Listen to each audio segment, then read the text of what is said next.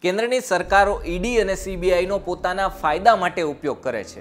અને આવું હું નથી કહેતો, આવું આંકડાઓ સાબિત કરે છે. અને આપણા દેશની સરકારના પડાવેલા જે દરોડા છે, એ સાબિત કરે છે.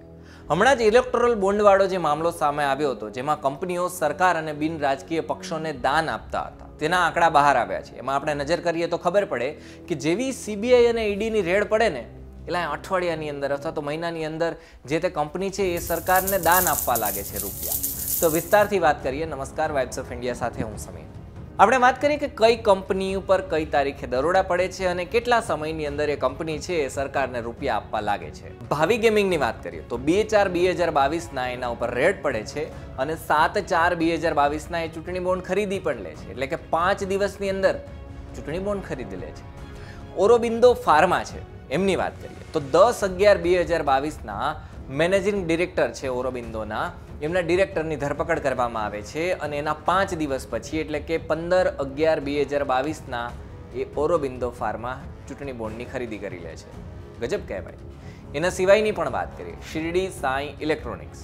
વીસ બાર બે હજાર ત્રેવીસના આઈટીની આ કંપની ઉપર રેડ પડે છે અને અગિયાર એક બે હજાર ચોવીસના એટલે કે એક મહિના પછી ચૂંટણી બોન્ડની ખરીદી આ કંપની કરી લે છે.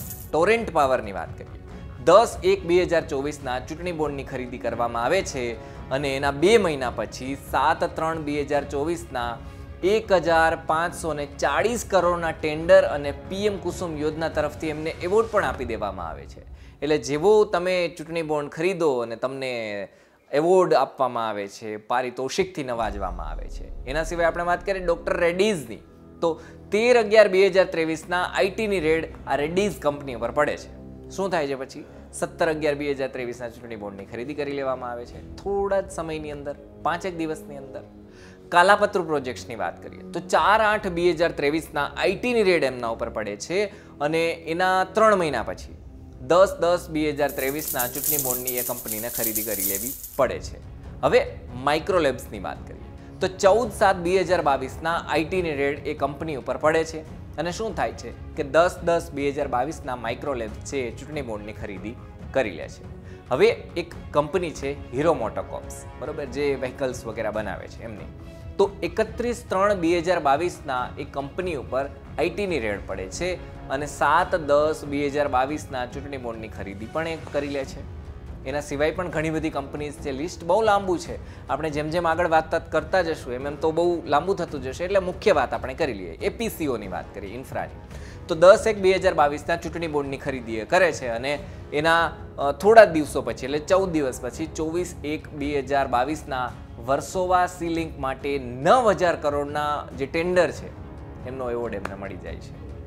યશોદા હોસ્પિટલની વાત કરીએ તો છવ્વીસ બાર બે હજાર વીસના આઈટીની રેડ પડે છે અને એપ્રિલ બે હજાર એકવીસથી ઓક્ટોબર બે હજાર ત્રેવીસ સુધી ચૂંટણી બોર્ડની આ કંપની છે ખરીદી કરવા લાગે છે. Hetero drugs and Hetero labs એમની આપણે વાત કરીએ. તો શું થાય છે કે બે હજાર એકવીસમાં આઈટીના દરોડા આમના કંપનીઓ પર પડે છે અને એના પછી તાત્કાલિકપણે શું થાય છે તમને ખબર છે? ઇલેક્ટ્રલ બોન્ડની ખરીદી એ કંપની કરવા લાગે છે. સાઠ કરોડના ઇલેક્ટ્રોનલ બોન્ડ છે આ કંપની ખરીદી લે છે. એટલે જેવી ઈડી અને સીબીઆઈની રેડ પડે છે, એટલે ઇલેક્ટ્રોલ બોન્ડ ખરીદવાની શરૂઆત થઈ જાય છે. મેઘા એન્જિનિયરિંગની વાત કરીએ. અગિયાર એપ્રિલ બે હજાર ત્રેવીસ. અગિયાર એપ્રિલની વાત કરીએ તો ત્યાં ચૂંટણી બોન્ડની ખરીદી કરી દેવામાં આવે છે. સો કરોડ રૂપિયાના ચૂંટણી બોન્ડ ખરીદવામાં આવે છે અને એક મહિનાની અંદર ભારતીય જનતા પાર્ટીની સરકાર છે. એમના તરફથી ચૌદ હજાર ચારસો કરોડનો કોન્ટ્રાક્ટ છે. એમને મળી જાય છે. એટલે એક બાજુ વાત કરવામાં આવે છે કે ખાઉંગા નહીં, ખાને નહીં દૂંગા. અને બીજી બાજુ જે આંકડા સામે આવે છે, એમાં કોઈ પણ રાજકીય પક્ષોની કે કોઈ રાજકીય વ્યક્તિની કે કોઈ વાત નથી.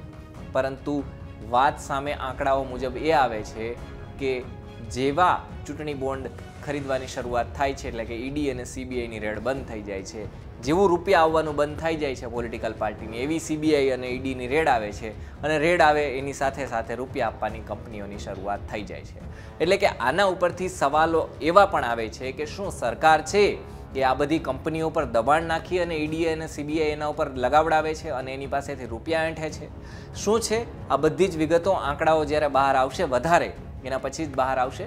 પરંતુ અત્યાર સુધી જેટલી માહિતી આપી છે, એ માહિતી અમે તમારી સામે રાખી છે. તમને આ માહિતી કેવી લાગી અમને કમેન્ટની અંદર પણ જણાવો. આનાથી સરકારની મનસા કેવી છે એ તમને એના ઉપર શું લાગે છે એ પણ અમને કમેન્ટમાં લખી અને જણાવો. નીચે ડિસ્ક્રિપ્શન છે, એના ઉપર એક લિંક છે. એના ઉપર ક્લિક કરશો તો પછી તમે અમારા વોટ્સએપ ગ્રુપમાં જોડાઈ જશો અને અવાજ સમાચાર અમે તમારી સામે મૂકતા રહેતા હોઈએ છીએ. તો અમારી સાથે જોડાઈ જાઓ. ધન્યવાદ.